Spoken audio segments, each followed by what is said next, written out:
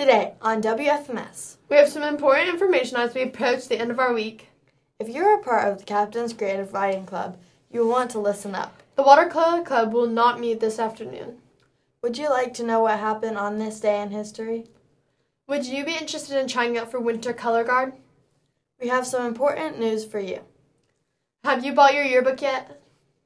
The WFMS Admiral Announcement Network starts now.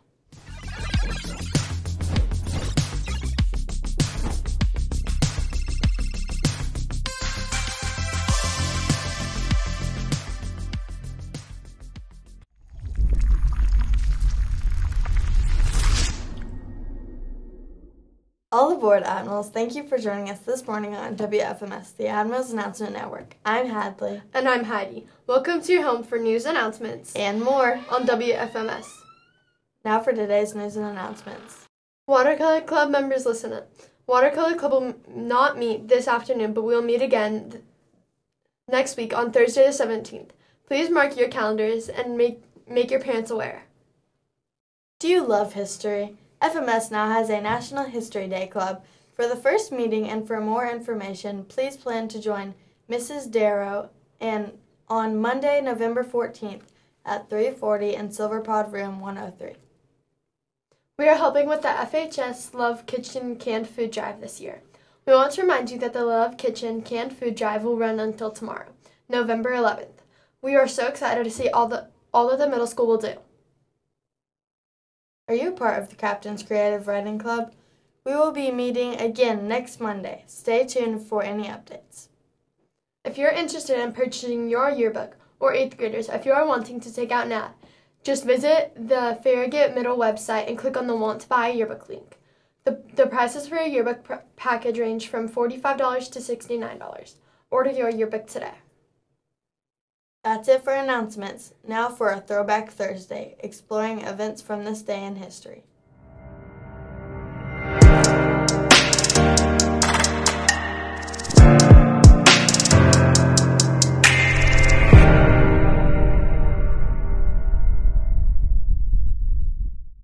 Hi, I'm Gabriel. And I'm Danan. Now for our Throwback Thursday as we look at this day in history. Did you know that on this day in 1871, journalist and explorer Henry Stanley found the missing David Livingstone in Central Africa and made his famous comment, Dr. Livingstone, I presume? On this day in 1928, Hirohito was crowned Emperor of Japan. Did you know that on this day in 1951, the first long distance telephone call without operator assistance took place? On this day in 1969, Sesame Street pre- premiered on PBS TV. On this day in 1970, the Great Wall of China opened the, to the world for tourism. On this day in 1982, the Vietnam Veterans Memorial opened in Washington, D.C.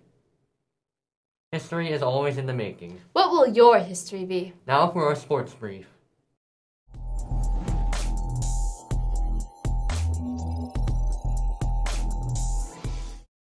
Hi, I'm PT. And I'm Nora. Now for a quick sports update. Our basketball season is rolling along, and you can catch all the scores and updates weekly here on the Admirals Announcement Network. We want to remind you that for home games, students need to wait until their grade is called to bus hall and then go to the gym. An important reminder for students. If you leave campus, you will need your parents with you in order to return and attend the game. No down the hill, then walking back up. Our next basketball game will be tonight against Whittle at home.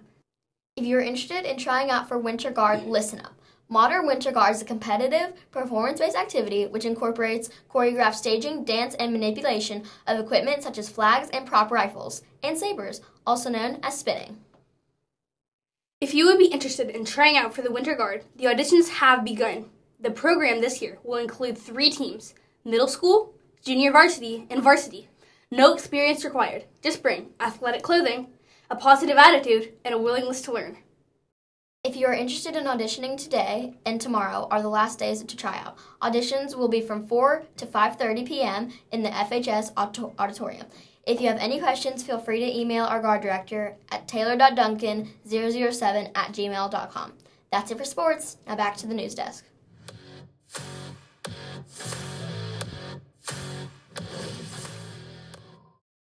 Our Attendance Matters moment today, remember that the regular attendance can produce better academic performance. It can also provide more work options and earning potential in the future.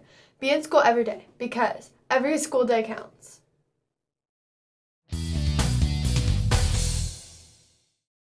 Thank you for joining us this morning on WFMS, the Admirals News Network. We hope you have a great day. And evening. Make good choices. Be kind. Stay safe. And, we will see you tomorrow.